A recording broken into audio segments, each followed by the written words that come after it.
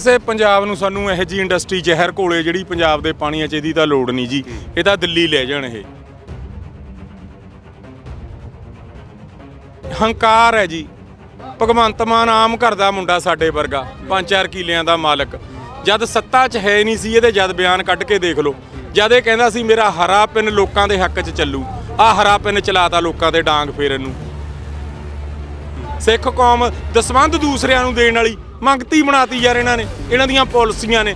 ਸਾਰੇ ਇਹ ਜਿੰਨੇ ਪੋਲੀਟੀਸ਼ੀਅਨ ਨੇ ਇੰਡਸਟਰੀਲਿਸਟਾਂ ਦੇ ਹੱਥ ਠੋਕੇ ਨੇ ਇੰਡੀਅਨ ਸਟੇਟ ਦੇ ਕਰਿੰਦੇ ਨੇ।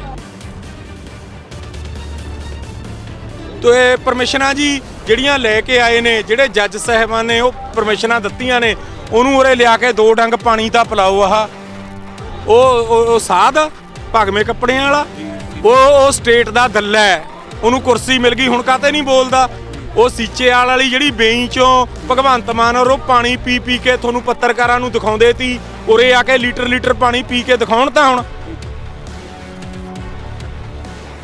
ਪਾਣੀ ਸਾਡਾ ਲੁੱਟ ਲਿਆ ਵਾਤਾਵਰਨ ਸਾਡਾ ਖਰਾਬ ਕਰਤਾ ਪਾਣੀ ਜਿਹੜਾ ਧਰਤੀ ਦੇ ਥੱਲੇ ਵਾਲਾ ਬਚਦਾ ਉਹਦੇ 'ਚ ਜ਼ਹਿਰ ਘੋਲ ਰਹੇ ਨੇ। ਨੌਜਵਾਨ ਬਾਹਰ ਚਲਾ ਗਿਆ। ਨੌਜਵਾਨ ਬਾਹਰ ਚਲੇ ਗਏ। ਜਿਹੜੇ ਨੌਜਵਾਨ ਉਰੇ ਗੱਲ ਕਰਦੇ ਦੀ ਪੰਜਾਬ ਦੀ ਚੜ੍ਹਦੀ ਕਲਾ ਦੀ ਉਹ ਉਹ- ਉਹਨਾਂ ਦੀਆਂ ਹਲੇ ਤੱਕ ਨੂੰ ਕੋਈ ਰੀਆਂ ਨਹੀਂ ਕਰਾਇਆ ਉਹਨਾਂ ਦੇ ਕਾਤਲ ਨਹੀਂ ਇਹਨਾਂ ਨੇ ਫੜੇ।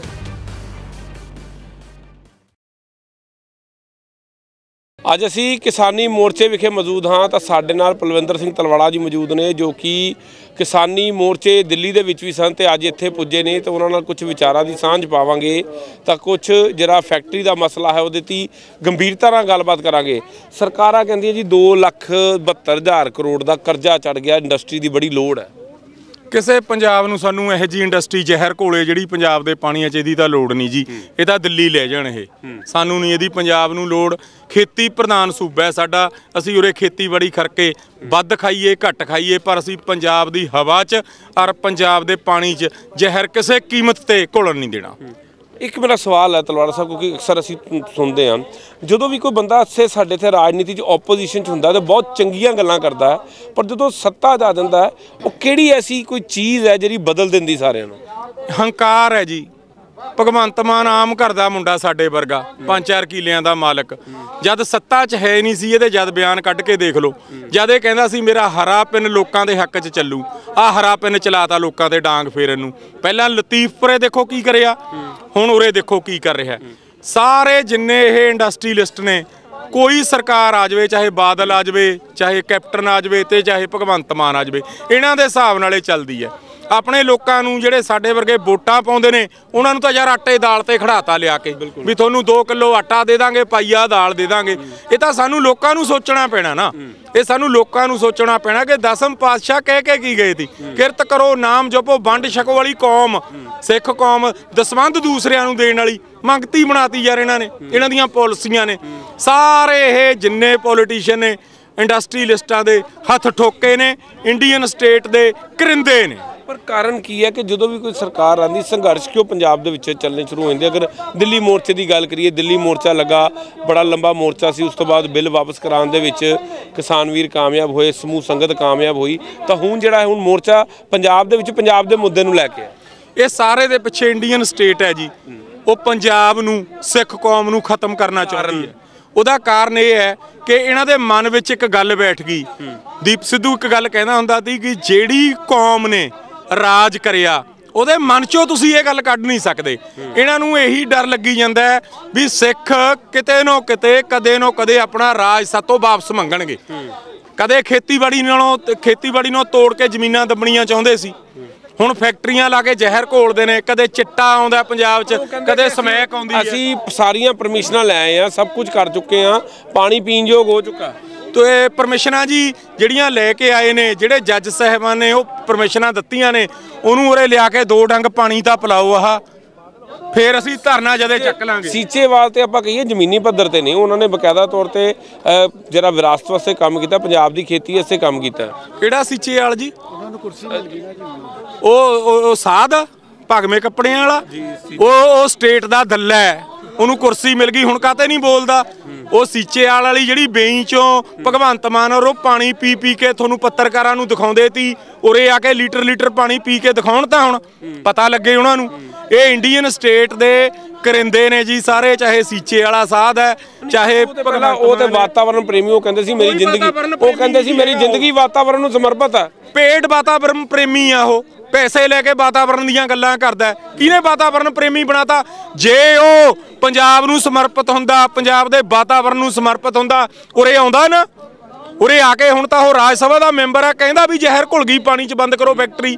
ਸਭ ਇਹ ਕਰਿੰਦੇ ਨੇ, ਪੇਡ ਨੇ ਇਹ ਸਭ। ਪਰ ਸਰਕਾਰਾਂ ਇੱਕ ਪਾਸੇ ਅੱਜ ਕੱਲ ਬਹੁਤ ਜਾਰੀ ਗੱਲਾਂ ਕਰ ਰਹੀਆਂ, ਕਹਿੰਦੇ ਜੋ 7 ਮਹੀਨਿਆਂ 'ਚ ਅਸੀਂ ਕਰਤਾ 70 ਸਾਲਾਂ ਦੀ ਆਜ਼ਾਦੀ 'ਚ ਨਹੀਂ ਹੋਇਆ। ਬਿਲਕੁਲ ਠੀਕ ਹੈ ਜੀ ਇਹ ਗੱਲ ਉਹਨਾਂ ਦੀ। ਇੰਨਾ ਇੰਨਾ ਹੈਰਾਨ ਪੰਜਾਬ 70 ਸਾਲ 'ਚ ਨਹੀਂ ਹੋਇਆ ਜਿੰਨਾ ਇਹਨਾਂ ਨੇ 7 ਮਹੀਨੇ 'ਚ ਕਰਤਾ। ਇਹੀ ਬਦਲਾਅ ਹੈ ਨਾ।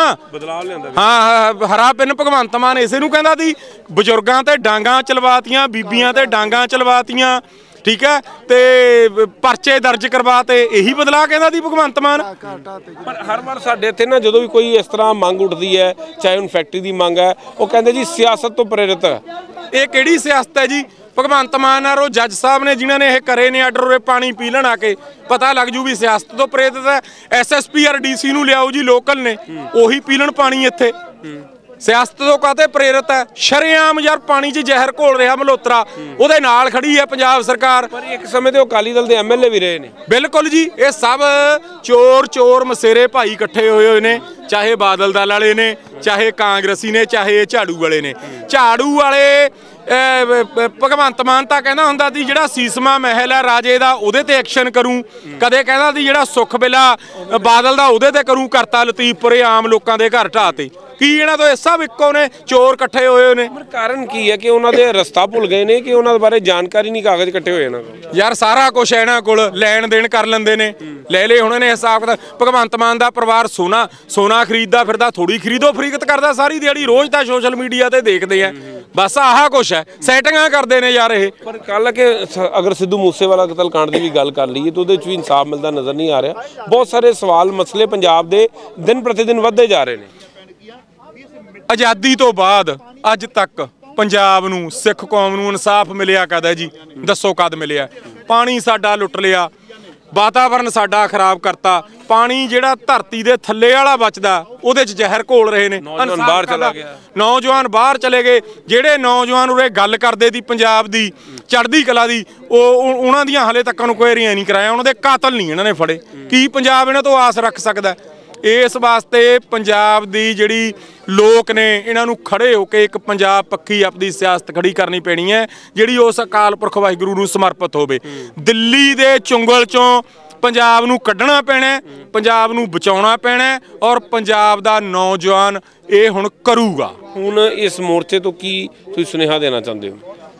ਦੇਖੋ ਇਹੀ ਸੁਨੇਹਾ ਜੀ ਜਿਹੜੇ ਉਰੇ ਸੰਗਤ ਬੈਠੀ ਹੈ ਪਿੰਡਾਂ ਦੀ ਜੇ ਇਹਨਾਂ ਨੇ ਬਗੈਰ ਫੈਕਟਰੀ ਬੰਦ ਕਰਾਏ ਮੋਰਚਾ ਚੱਕ ਲਿਆ। ਚਾਹੇ ਜ਼ੋਰ ਜ਼ਬਰਦਸਤੀ ਕਰਨ ਚਾਹੇ ਕੁਛ ਕਰਨ ਸਾਰੀ ਪੰਜਾਬ ਦੀ ਸੰਗਤ ਨੂੰ ਮੈਂ ਬੇਨਤੀ ਕਰਦਾ ਕਿ ਇਹਨਾਂ ਦਾ ਸਾਥ ਦੇਣਾ ਚਾਹੀਦਾ।